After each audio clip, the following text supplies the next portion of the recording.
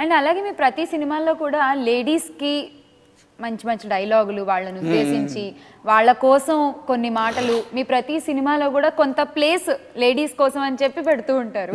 So ఈ సినిమాలో ఎలా ఉండబోతోంది?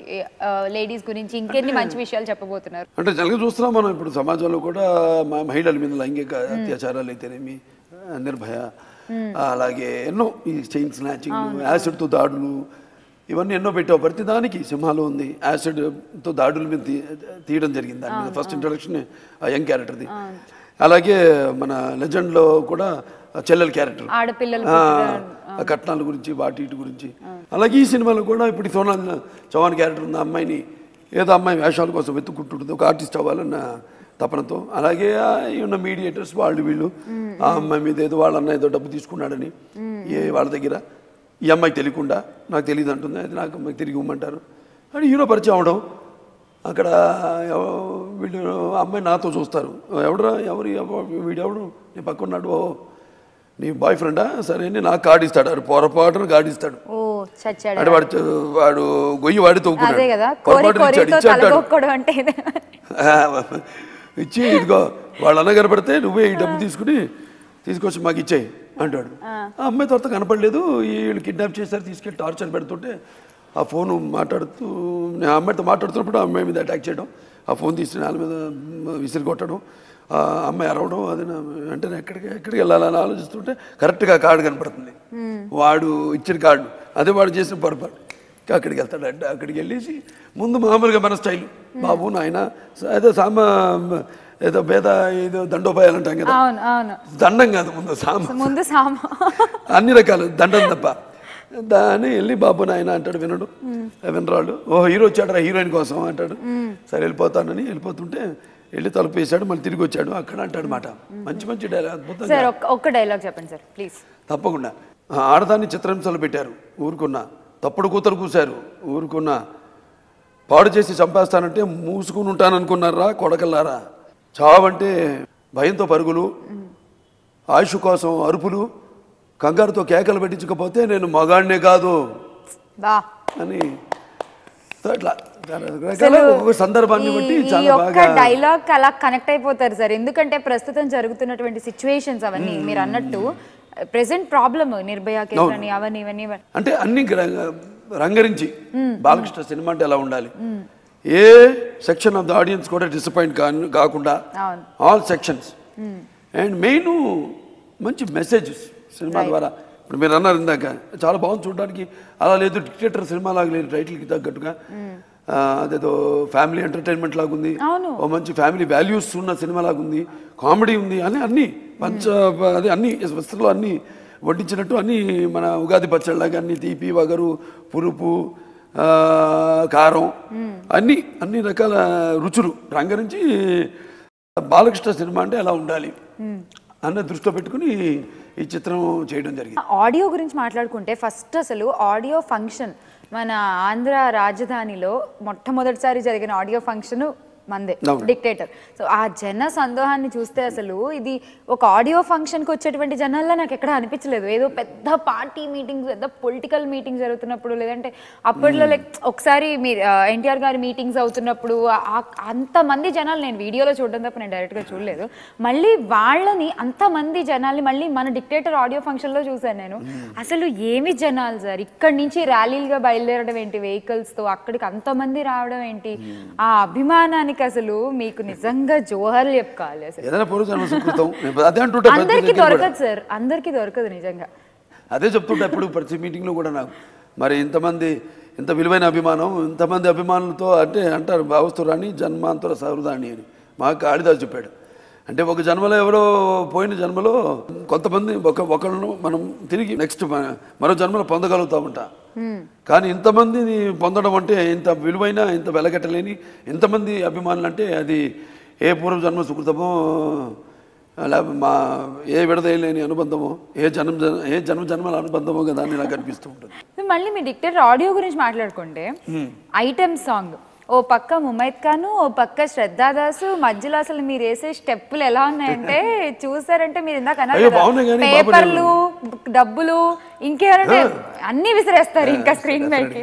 అంత హిట్ అయింది ఆ సాంగ్. తర్వాత మెలోడీ సాంగ్ ఒకటి నెట్స్లో కూడా ఎంత పాపులర్ పాటలు కూడా అంటే ఇప్పుడు మనకి కొంచెం కొన్ని కొన్ని సినిమాలకి అన్ని కుదురుతాయి. అంతే ఇప్పుడు లెజెండ్ ఉంది. అద్భుతమైన ఆడియో. దేవిశ్రీ గారు ఇచ్చారు. అద్భుతం. అంటే నా నిజంగా మిగతా సినిమాలు చెప్పేస్తారు దేవిశ్రీరా తెలియకుండానే. ఎవడ మ్యూజిక్ డైరెక్టర్ తెలియకుండానే చెప్పా "ఆ, ఇది దేవిశ్రీరా ఇదేమో పలానా ఇతనురా అతనురా తమ్మనరా అని చెప్పేస్తారు. కానీ లెజెండ్లో ఎవడు ఇది దేవిశ్రీ అని ముందు ఊహించలా. ఇంత బాగా ఇస్తాడు ఆయన. అంటే డిఫరెంట్గా బాగా ఇచ్చుంటాడు మిగతా సినిమాని కాదన్ను. అలా కుదిరిని అన్ని. మంచి మెలోడీ ఉంది మంచి గణేష్ మీద పాట ఉంది. అన్ని కలిసి రెండు రాష్ట్రాల ప్రేక్షకుల్ని కూడా కలిపారు. ఆంధ్ర తెలంగాణ దన దన. దన దన ఆంధ్ర తెలంగాణ. అదిరే సూపర్ డూపర్ జోడి మనతేరే మళ్ళీ దన గన గన గన గన గన కడప కర్నూలైనా నిన్ను నన్ను చూసి జనం విసిలేయాలి. అండ్ అలాగే ఈ సినిమాతో ఫస్ట్ టైం ప్రొడ్యూసర్ అయినా కూడా ఎక్కడ కాంప్రమైజ్ కాకుండా శ్రీవాస్ గారు చాలా బాగా తీశారు. దట్టు మీ సినిమా అంటే ఆ భారీతనం ఆ గ్రాండియర్నెస్ ఎక్కడ ఆ లావిష్నెస్ తగ్గకుండా దట్టు మన ఈరోజు ఇంటర్నేషనల్ కూడా హిందీలో ఎన్నో మంచి మంచి సినిమాలు అందించారు. సో వీళ్ళిద్దరూ కలిసినప్పుడు ఈ ప్రొడక్షన్ వాల్యూస్ ఎలా అనిపించాయి మీకు? మరి మేము చెప్పే కానీ బ్యాక్గ్రౌండే చాలా డిఫరెంట్ బ్యాక్డ్రాప్ అంటే మంచి రిచ్ ఫ్యామిలీ ఒక అంబానీ టాటాస్ బిర్లాస్ అలా సెలెక్ట్ చేసుకున్నాను. సెలెక్ట్ చేసుకున్నప్పుడు మరి ప్రతిదీ మరి ఒక షూటింగ్ కర్నాల్ వెళ్ళాము మేము.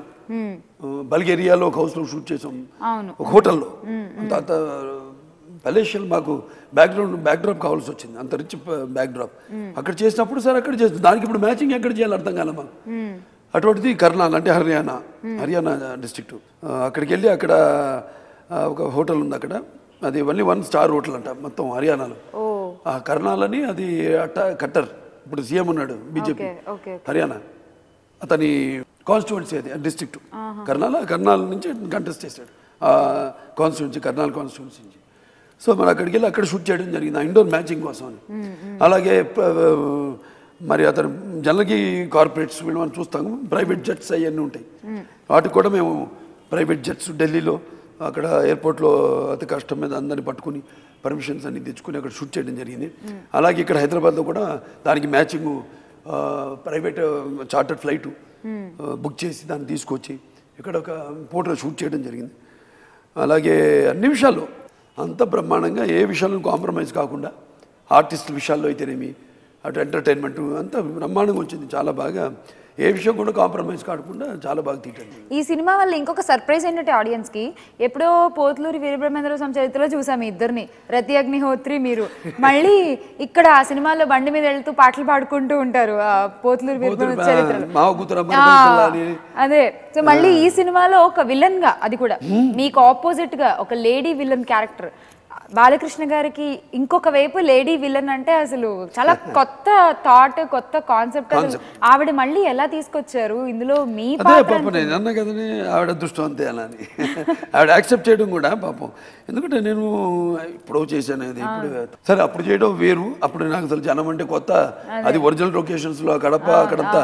అప్పుడు నాకు నేను ఏదో చదువుకుంటున్నాను రై చాలా పెట్టి షూటింగ్ అనేవారు. చాలా పెట్టి వెళ్ళేవాడిని. ఆ జనంలో నాకు ఆ జనము ఈయన తప్ప ఈయన మీద ఈయన ఈయనంటే భయం తప్ప. ఇక నాకు ఇది అది చాలామంది ఇన్వాల్వ్ అయ్యి చేశాను అనుకుంటారు అనుకోవచ్చు నేను మరి నేను చెప్పా చాలా మందితో చెప్తుంటే నేనే పెద్ద ఇన్వాల్వ్మెంట్ లేదు ఏమి లేదు దాంట్లో భయంతో చేశాను నేను. నాన్నగారితో నాన్నగారితో నాన్నగారి మీద భయంతో. ఏదో లాస్ట్కి తల పెట్టి కొట్టుకోవడం ఆయన్ని. సరే ఇప్పుడు మళ్ళీ మేము కలిసి చేసుకోవడం మళ్ళీ ఆ పాత పాటలను చూసుకుని నవ్వుకుని ఆవిడతో చాలా ఎగ్జైట్ ఫీల్ ఎగ్జైటెడ్ అయ్యి. వాళ్ళు బాంబే వాళ్ళు ఉంటారు కదా చుట్టూ ఆడు బాంబేలోనే ఉండేది. వాళ్ళ స్టేట్లో వాళ్ళు వీళ్ళందరినీ పిలిచి చుట్టూ మేము కలిసి చేస్తామని అప్పుడు చక్కగా సరే తర్వాత మళ్ళీ పాత్ర చేయడం అనేది మేము చాలామంది పేర్లు అనుకోవడం జరిగింది. పేర్లు వద్దు కానీ ఎందుకో మరి ఈ అమ్మాయి సడన్గా డైరెక్టర్ గారికి ఎందుకు ఐడియా వచ్చిందో ఆ పేరు చెప్పగానే కూడా నేను కూడా వెంటనే సమ్మతించాను. బాగానే ఉంది ఇది. తెలిసిన మా ఫేస్ అయితే బెటరు. ఏదైనా రతి అంటే తెలుసు అందరికీ. సతీ అగ్నిహోత్రుడు తెలుసు.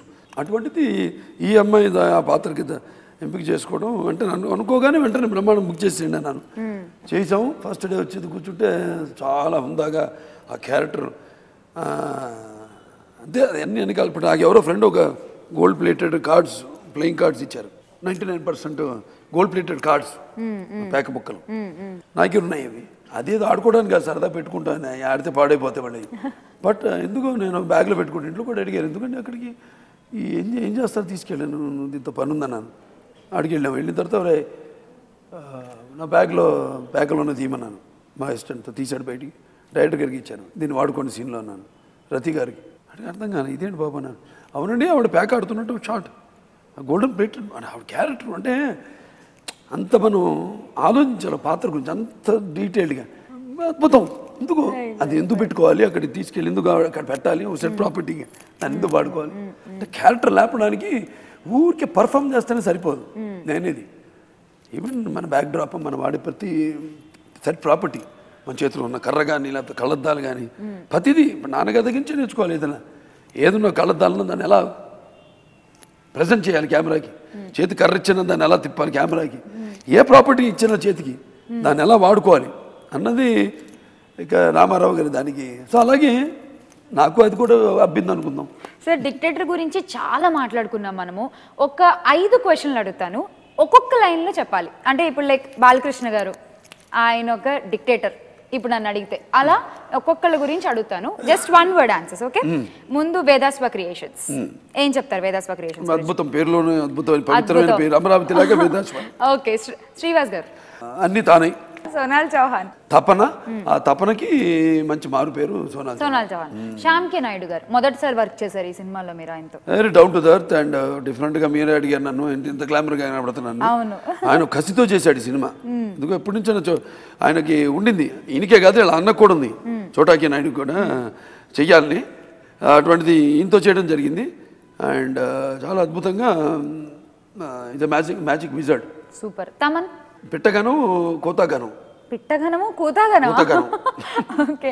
సో స్టంట్ మాస్టర్ కొంచెం ఎక్కువగానే కష్టపెట్టినట్టున్నారు ఈ సినిమాలో లేదు మేము ఎప్పుడు అన్ను ఆయన నేను కోరుకుంటేనే కష్టం కష్టాలు కొని తెచ్చుకోవడమే ఆయన దగ్గరికి వెళ్ళి నేనే ఆయన ఏం తాడు కట్టాలన్నా తాడు లేకుండా కూడా చాలా చోట్ల నేను ఎగిరి కిక్కులు కిక్కులు అన్నీ చేయడం జరిగింది.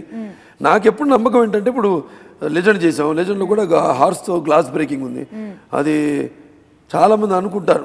ఒరిజినల్గా ఎందుకండి ఒరిజినల్గా చేసినా కూడా ఈ మధ్య అంత గ్రాఫిక్స్ అనుకుంటున్నానని. నాకు సాక్షి అక్కడ ఉన్న ఇరవై పాతిక వేల మంది. షూటింగ్ చూస్తున్నారు జనం ముందు. నేను చెప్పాను నాలాగా జనంలోకి వెళ్ళి ఆవిడ చేసేవాడు ఒక మగాడు లేడు ఇండస్ట్రీలో.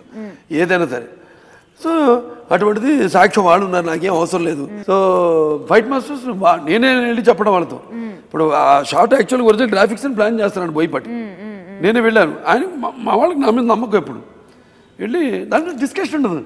దాని గురించి కూర్చొని వద్దు బాబు ఓ, వద్దు ఇది అని గాడిద గుడ్డి ఎంత ఉండదు. డైరెక్ట్గా ఇలా పోయి ఏంటిది? అన్నాను. అదే గ్లాస్ బేకింగ్ ఏదో ప్లాస్టిక్ ఇది కడతాను గుడ్డ అడ్డంగా కవరు దాని మీద జస్ట్ చించుకుని చేయాలి దాని మీద గ్రాఫిక్స్ ముక్కలు గుర్తుంటే ఏ ఒక్క నేను రెడీ అన్నాను ఒరిజినల్ అంటే చూశాడు అంతే ఆయన. దాని గురించి డిస్కషన్ లేదు ఏం లేదు అలా చూసి మీరు ఓకేనా బాబు? అన్నాను ఓకే అన్న తీసండి అన్నాడు. అంత అయిపోయింది ఫినిష్ డైరెక్ట్ గ్లాస్ పెట్టండి అన్నాను పెట్టేసాం టపాలు కొట్టేసాం అయిపోయింది ఫినిష్ అంటే అక్కడికి వెళ్ళినప్పుడు క్యారెక్టర్ ఇన్వాల్వ్ అయ్యి. సో అలాగే దీంట్లో కూడా చాలా అద్భుతంగా డిఫరెంట్గా ఉంటాయి. ఆయన చేశాడు ఆయన పేరు రవి వర్మ. రవివర్మ ఎస్ కర్ణాటక. తర్వాత మాకు బల్గేరియా అంటే వేరే పేరు మన ఇండియన్ కాదు అక్కడ బల్గేరియన్ అతనే. ఒక సీక్వెన్స్ అతను చేయడం జరిగింది. ఇద్దరు డిఫరెంట్గా టు- అది ఆయన ఒకటే చేశాడు ఆయన. అక్కడ డిఫరెంట్ ఇంట్రడక్షన్ డిక్టేటర్ క్యారెక్టర్ రివాల్వర్తో షూట్ చేస్తూ చాలా క్రూరంగా చాలా స్టైలిష్గా తీశాడు ఆ ఫ- అక్కడ ఫైట్ని ఇక్కడ మరి మన ఇవన్నీ కూడా బ్రహ్మాండంగా ఇద్దరు ఇద్దరు చేశారు. చాలా సో అద్భుతంగా ఫైనల్గా డిక్టేటర్ గురించి ఏం చెప్తారు? ఒక్క మాటలో. చెప్పాను నేను. ఆ, కొన్ని కొన్ని టైటిల్స్ ఎందుకు యాదృచ్ఛికంగా తా కాకతాళీయంగా నాకు నా స్వభావానికి లేకపోతే నా భవిష్యత్ నిర్ణయానికి చాలా దోదబండి అన్ని టైటిల్స్ కూడా. మరి ఇది ఎక్కడికి దారి తీస్తుందో చూద్దాం. వస్తున్నాడు నీ అంత. ఇంకొక జస్ట్ కొద్ది రోజుల్లో మాత్రమే ఈ కొత్త సంవత్సరంలో ఒక సరికొత్త నియంతని మనం ఆన్ స్క్రీన్ చూద్దాము. నియంత అంటే మంచి టైటిల్ డైలాగ్ ఉంది కదా. ఏది? నా పేరు చంద్రశేఖర్ ధర్మ నా నా ఒంట్లో ఉన్న అహం పేరు డిక్టర్ చావు చూడాలనుకుంటే దాన్ని ముట్టుకో ఇంటర్వ్యూ చూసిన వాళ్ళు కూడా అనుకుంటారు. సెకండ్ సైడ్ ఆఫ్ బాలకృష్ణ గారు ఇవాళ ఇంటర్వ్యూలో చాలా విషయాలు చెప్పారు మీరు డిక్టేటర్ సినిమా గురించితో పాటు. So once again all the best sir and మరొక్కసారి మీకు నూతన సంవత్సర శుభాకాంక్షలు. థ్యాంక్ యూ సో మచ్ అందరు కూడా మరొకసారి నా నూతన సంవత్సరం మరియు సంక్రాంతి శుభాకాంక్షలు తెలియజేసుకుంటూ ఆ భగవంతుడు అందరినీ ఆయుర ఆరోగ్యాలతో అష్టైశ్వర్యాలతో కీర్తి ప్రతిష్టలతో భోగభాగ్యాలతో సిరి సంపదలతో నవగ్రహ అనుకూల్యం ప్రసాద ప్రసాదించాలని మనస్ఫూర్తిగా కోరుకుంటున్నాను.